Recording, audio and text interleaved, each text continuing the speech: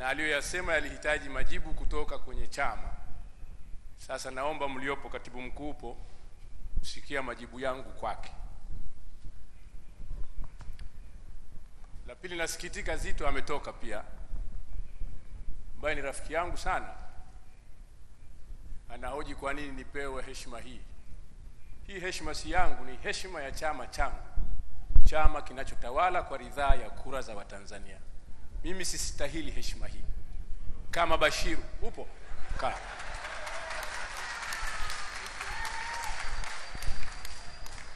La kwanza, mimi nikiingia kwenye ukumbi huu naingia kwa hisia kali.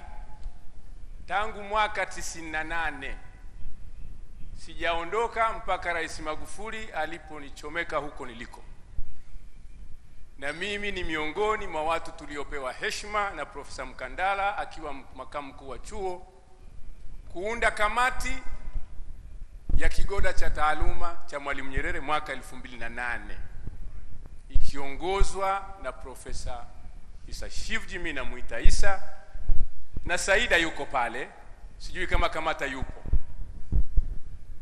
na najisikia fahari kuona kigoda kinaendelea kuandaa mijadala na hakijafa. Ndugu zangu, swala la mijadala ni kama damu kwenye mwili. Kuna faida tatu.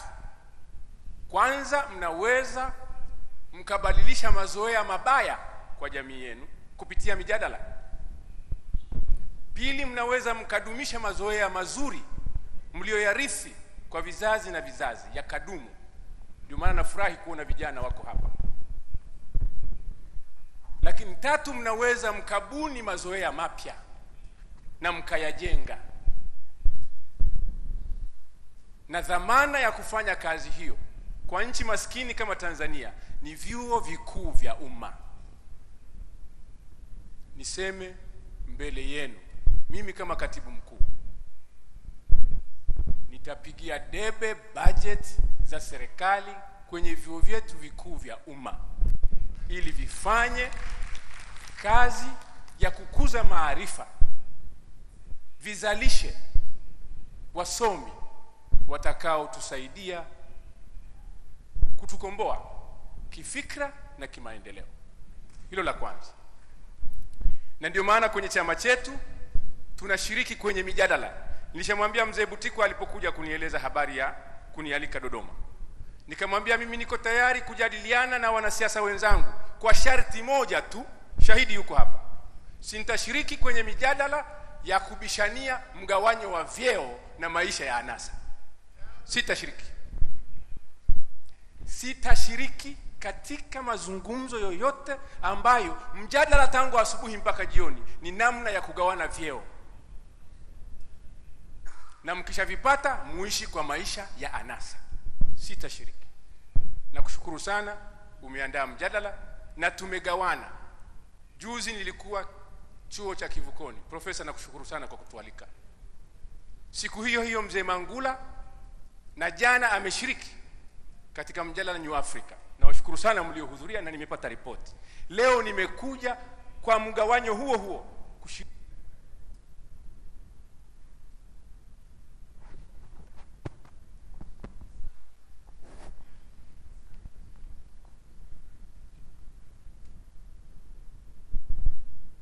Hii ndiyo namna ya kuiponya nchi yetu. Mijadala itatufanya tujisahihishe. Tumekosea sana katika nchi hii, tumepotea sana katika nchi hii, na mbaya zaidi, tumeanza kuogopa kusema ukweli.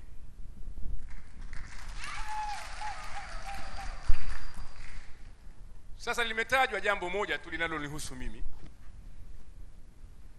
Mjumbe wa, wa, wa kamati kuu amesema habari ya hofu.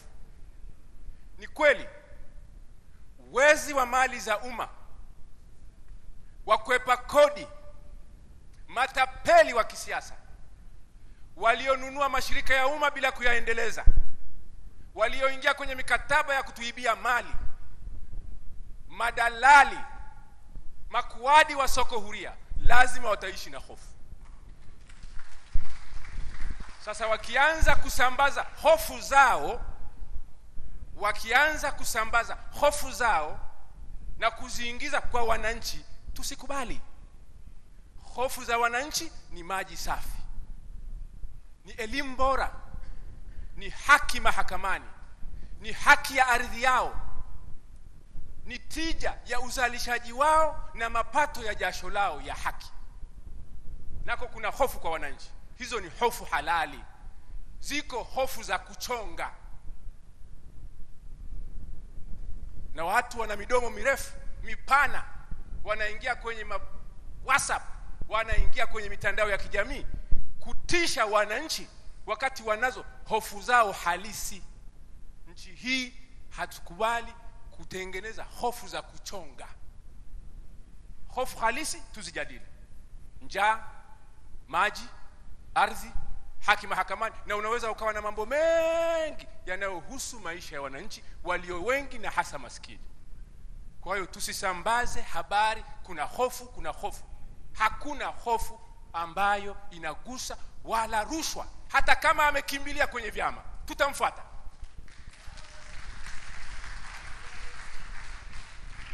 Ili mradi haki imetendeka. Swala lingine la usalama ndugu zangu mimi tangu nimeteuliwa nimezunguka mikoa kumi na minne. Kwa miezi mitatu.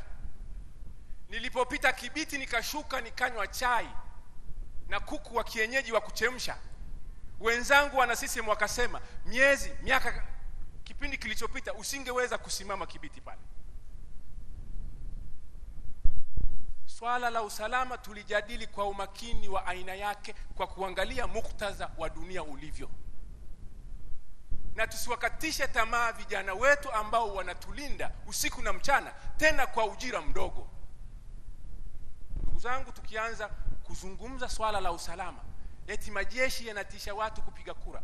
Kama watu wanatembea na mabisibisi na mapanga vijana wanachukiana chadema na CCM wanapigana ngwara polisi wakae ndani kwa sababu eti watasababisha hofu.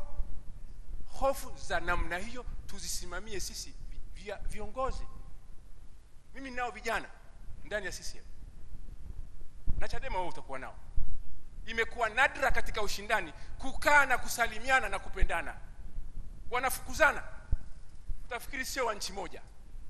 Halafu polisi wawaache watoboane macho. Itakuwa ni kutowajibika. Ni kweli tuna matatizo katika vyombo vyetu na vina uwezo mdogo ambao tunatakiwa kuujenga lakini hatujafika katika kiwango hicho cha kusema tuna hatarishi ya usalama. Tukisema hivyo tutaua uchumi wetu kwa maneno ya rejareja. La mwisho na afiki matatizo ya nchi hii yatasuluhishwa na umadhubuti wa vyama vya siasa. Haina mjadala. Na mimi tangu nimeingia nimekuta matatizo matatu ndani ya chama changu. Na ndugu yangu wewe maana wewe Chadema ndio unanifuata. Lakini sasa hivi naanza kukuacha sana